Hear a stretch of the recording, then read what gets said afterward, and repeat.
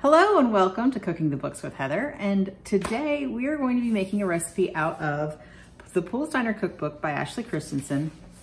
And we're going to be making short ribs the simplest way. This is a, a very basic recipe and there are a couple other recipes in the book that you can make after you've made these. So with the leftovers or um, with whatever, you know, you make these first and then make something else with them. Um, what we're gonna do today is just make these and eat them as they are. Um, and so maybe later we will make some of those other recipes. My husband uh, found these, he had to ask the butcher, it asks for a slab of short ribs, which is kind of hard to find. Usually they're cut up as far as I can tell in um, the grocery stores, you can buy short ribs cut up, but these are uh, just a slab of short ribs. This is probably about four pounds. The recipe calls for five, but it was um, a 16 pound uh, slab, the whole thing. So we have extra to make those other recipes. And then we cut it into to four pieces. So um, right now I'm just putting salt and pepper on it, liberally dusted with salt and pepper.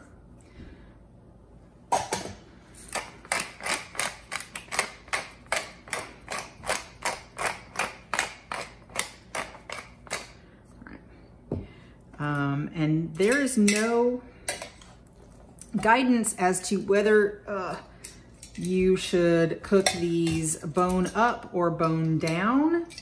Um, I'm going to start with them bone down for the uh, browning period and then put them bone up so the meat is in the braise for the second part.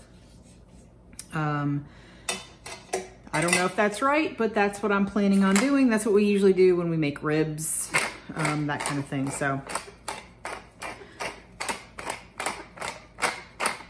a lot of pepper. All right, liberally dusted salt and pepper. Um, and I've got this in a roasting pan that I can cover with foil because that's what I'm gonna do after this. And my oven is at 450 degrees convection or 475 um, non-convection. It goes in for 20 minutes and then you let it rest for 10 minutes before we continue. So we'll be back in about half an hour. I'm gonna go put these in the oven. My short ribs have been in the oven for 20 minutes, maybe a little bit more. Didn't hear the beep. Um, and then they've been resting now for 10 minutes outside of the oven. I'm gonna go ahead and turn it over. It already smells like delicious uh, beef uh, smell, but nowhere near done yet. Um, this got to just, going for a caramelized crust. So I turned it over so that the uh, meat part will be in the braise because you have to worry about that more than the bones. Anyway, that's my personal thing, not her. Nothing in the recipe about that. I just did it. Um, and now we put in some red wine. Uh, I like to buy small things of red wine. Um, my local grocery store either sells the little mini bottles or that sells them in um, sort of like milk carton, but with a spout. Um, it's just easier for me to use it for cooking wine, wine I'm gonna cook with. It's easier.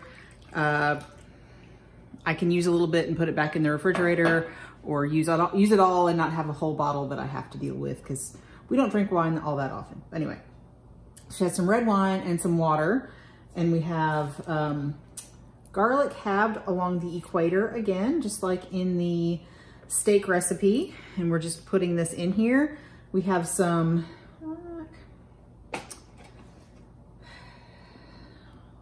we might have some, uh, who knows what. Um, we have some rosemary that goes in and then some thyme. She calls for a particular amount of thyme. I just grabbed some out of the package and didn't count them like, you know, a normal person because um, they were all kind of tangled together. And that is it. Uh, I'm going to cover it with this aluminum foil and try not to burn myself while I do that. You wanna cover it tightly. I might have to get the other aluminum foil, the um, wider heavy duty stuff. Be right back. So this is the heavy duty aluminum foil, which we just buy in a wider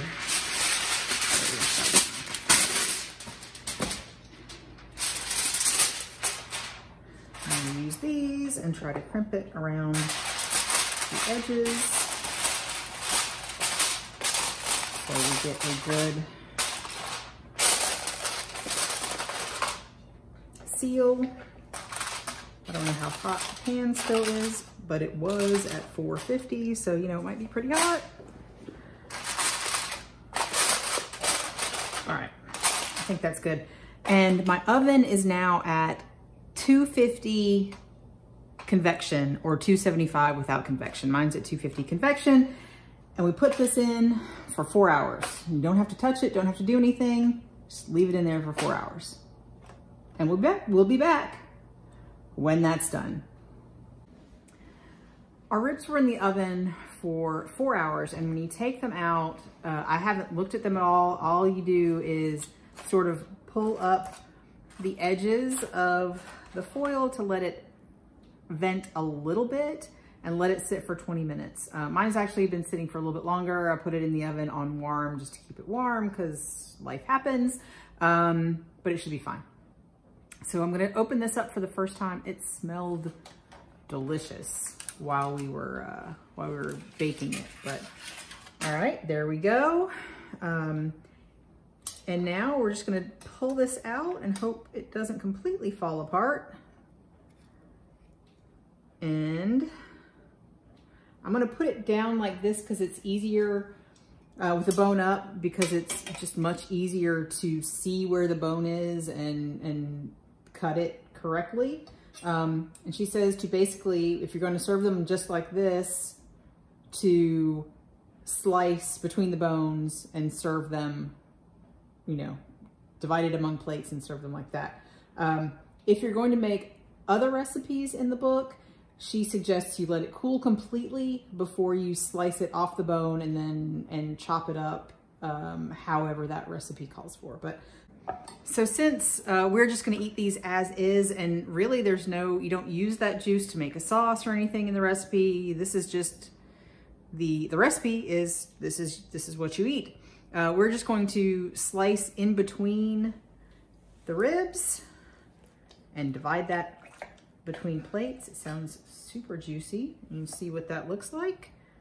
Uh, it looks like all the fat has rendered. They get a lot smaller because it is a lot of fat and connective tissue in the ribs, but it looks very meaty. Looks delicious. Let me go ahead and slice them all up.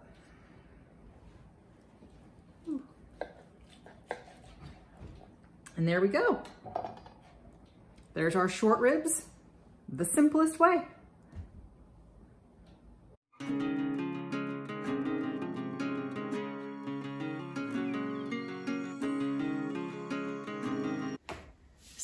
We had the short ribs, the simplest way, from the Poole's Diner cookbook for dinner tonight.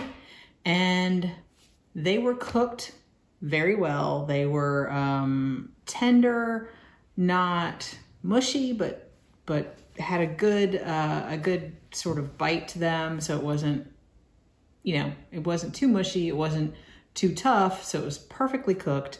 Um, they were flavorful, but honestly, I didn't get a lot of the wine or the uh, garlic or herbs from it myself. And I think my husband said the same thing, um, but they were delicious. I mean, it was beef, you know, very beefy. Um, kids ate it, which was really good.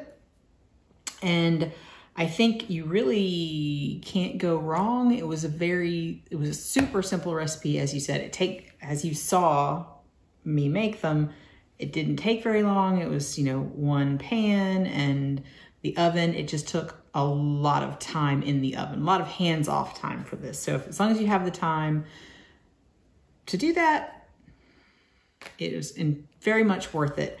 Personally, I would really um, love to, to use some of the uh, juices and maybe make a sauce. I did not do that tonight. Didn't really have time in my schedule for that, but I'm thinking about testing it out separately. I'll let you know in the comments below how that goes. Um, but yeah, I, I would certainly make this again. Family loved it. In fact, I have plenty more in the freezer. So I will be making it making it again and hopefully also make um, the short rib pot pie or the short rib hash also from this book that starts with this recipe and then builds upon it. So stay tuned to see that sometime in the near future. I hope you enjoyed watching me cook today. And if you did, please hit the thumbs up, subscribe, and come back and watch me cook something else. Uh, recipe